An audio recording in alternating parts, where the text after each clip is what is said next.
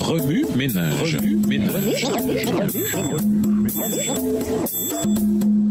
Bienvenue dans votre émission. Remue ménage. Nous voilà au lundi 9 mai.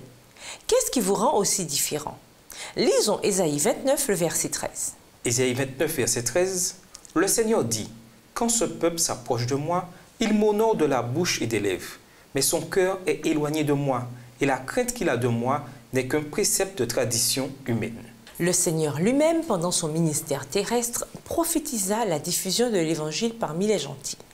Dans la parabole de la vigne, il déclara aux Juifs impénitents, Le royaume de Dieu vous sera enlevé et sera donné à une nation qui en rendra les fruits.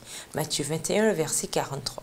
Et après sa résurrection, il ordonna à ses disciples d'aller vers toutes les nations et de les enseigner. Ceux-ci ne devaient pas manquer d'annoncer la bonne nouvelle à toute la création. Matthieu 28, verset 19, Marc 16, verset 15. Vous ne comprenez pas les droits que le Seigneur a sur vous.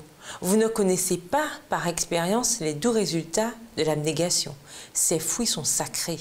La religion pure et sans tache, de même que ses principes solides, serait pour vous une encre. Pour atteindre les grands objectifs de la vie, vous devez éviter l'exemple de ceux qui ne recherchent que leur propre plaisir et non pas la crainte de Dieu. Dieu a pourvu amplement pour vous. Si vous vous conformez aux conditions énoncées dans sa parole et si vous vous séparez du monde, vous serez alors disposé à recevoir la puissance divine nécessaire pour réprimer toute influence avilissante et pour développer ce qui est noble, beau et bon en vous. Le Christ sera en vous, une source d'où jaillira la vie éternelle. La volonté, l'intellect et chaque émotion, lorsqu'ils sont sous le contrôle de la religion, exercent une puissance transformatrice. Le Seigneur vous a appelé à accomplir une certaine tâche, mais vous n'avez pas obéi. Autour de vous se manifestent la discorde, les disputes et les dissensions. Il ne doit pas en être ainsi.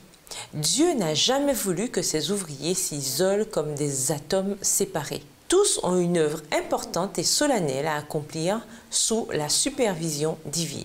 Dieu fera de grandes choses pour ses enfants s'ils coopèrent avec lui. Il transformera leur esprit, si bien qu'on verra dans leur vie, même en ce monde, un accomplissement de la promesse divine de l'état futur. Remue-ménage, peut-on honorer Dieu des lèvres alors que notre cœur est éloigné de lui? Justifiez votre réponse. De quelle manière différente une personne peut-elle se rapprocher de Dieu?